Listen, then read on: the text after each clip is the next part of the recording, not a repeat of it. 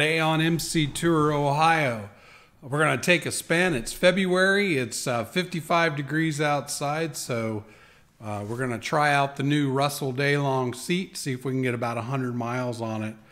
While we're out, we're going to try out the warmR uh, base layer from Freeze Out that we got at the IMS show. I'll report back on how well that was. So stay with us, and uh, we're going to take it for a ride. Um, I got in about 75 miles today, and it was about it was about 50 degrees, but the wind was about 20 miles an hour. Uh, the warmR base layer worked out perfectly. It worked as advertised, kept the wind off of me, which uh, was one of the key features of it, um, and it kept my core body temperature nice and warm. I would definitely recommend this for cold weather riding. The Russell Daylong fit perfect. No more shifting around my seat to find that comfortable spot. It truly fit like a glove. Called the wife uh, at lunch, uh, told her, said, Hey, I'm just going to go ahead and ride on to Daytona. You can catch up with me when I get there. So it definitely is going to let me put more hours on the seat without having to get off the bike. Very, very comfortable.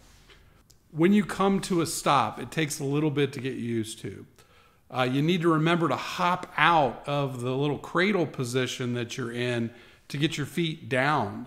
Um, I'm about six foot tall, and it raises my seating position up uh, about an inch, an inch and a half. Plus, you're in that cradle, so you have to hop out of the cradle uh, to get your feet down.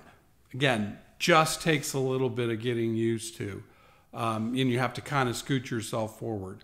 I was able to flat foot the bike. I'll put some pictures uh, to show kind of the before and after, but I was able to flat foot the bike previously, and now um, I do have to be on my uh, a little bit on my tiptoes um, in that forward position uh, at a stoplight. But God, when you're riding, it is just so so comfortable.